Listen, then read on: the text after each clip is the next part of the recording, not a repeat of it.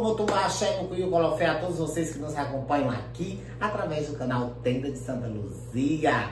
E hoje nós vamos falar sobre como fazer um banho para você se aproximar do seu Exu Guardião, para você descobrir quem é o seu Exu Guardião.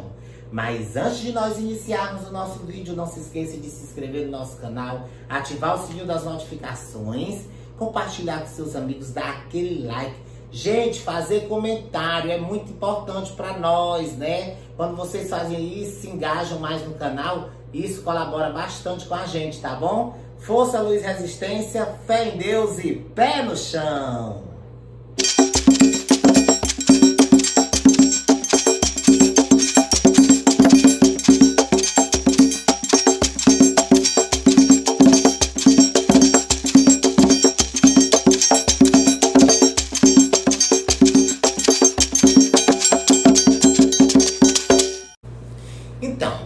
Fazer um banho para você entrar em contato com seu Exu guardião, né?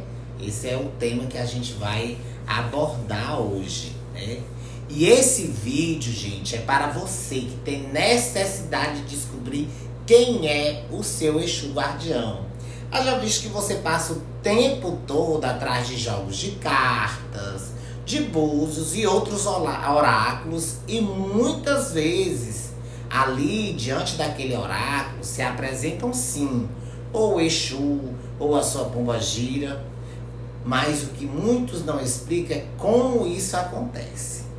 Muitas vezes o seu Exu protetor ou guardião termina que enviando outro mensageiro e de repente o oraculista apresenta para você um Exu ou uma pombagira que está lhe acompanhando naquele exato momento. Tempos depois, quando você começa seu desenvolvimento mediúnico, a pessoa se depara com sonhos e sinalizações mediúnicas, apresentando outro Exu e outra pombagira, o que causa um desespero perturbador naquela pessoa. Isso você sabe por que acontece? Pelo imediatismo do ser humano em dar nome a tudo que sente e termina perdendo o mais bonito do processo de desenvolvimento médio único, o que é dar tempo ao tempo. O que eu quero te dizer que você não precisa saber o nome do seu Exu e da sua pombagira para eles atuarem na sua vida. Que isso precisa ser algo seu com a sua espiritualidade. Então eu vou te dizer aqui como isso pode acontecer? Em primeiro lugar, você vai precisar de uma vela branca número 5, um copo americano com água mineral ou filtrada, sete folhas de pimenta, sete folhas de limão e um pedacinho da folha da planta. Comigo ninguém pode.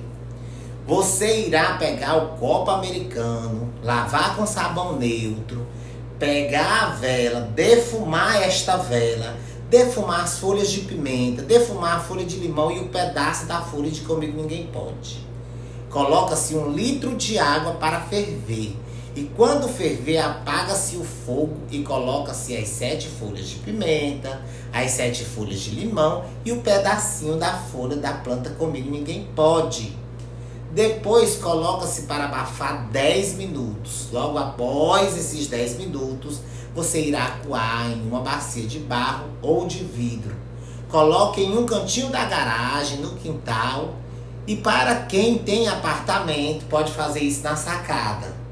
Acenda a vela e consagre esse banho dizendo dessa forma: Eu, como criatura de Deus e feita a sua imagem e semelhança, venho invocar a força do meu Exu guardião para que ele possa se manifestar, ou através de sonho, intuição ou qualquer forma de manifestação mediúnica. Peço que o Senhor possa estabelecer em mim a proteção e a força para enfrentar as dificuldades cotidianas. Esse procedimento, gente, ajudará você a se aproximar cada vez mais do seu Exu guardião. O dia da semana para você realizar esse ritual é na segunda-feira, de preferência no horário da noite. Posso garantir que essa é uma forma segura de você se aproximar do seu Exu guardião e ele se manifestar de forma clara para você. Que Deus abençoe cada um de vocês e que minha mãe Oxum possa trazer muitas riquezas material e espiritual. Axé.